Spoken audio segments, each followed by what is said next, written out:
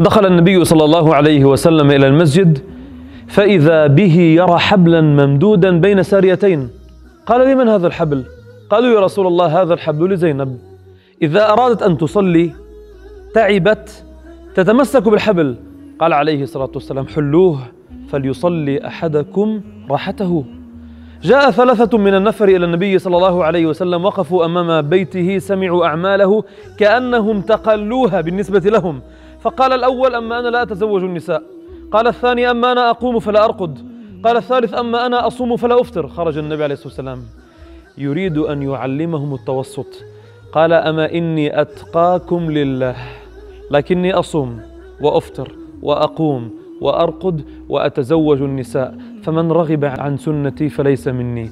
صدق الله تعالى عندما قال وكذلك جعلناكم أمة وسطا. لذلك لا تقبض يدك ولا تبسطها كل البسط فتقعد ملوما محسورا. لا إفراط ولا تفريط كن وسط كما قال الله جل جلاله.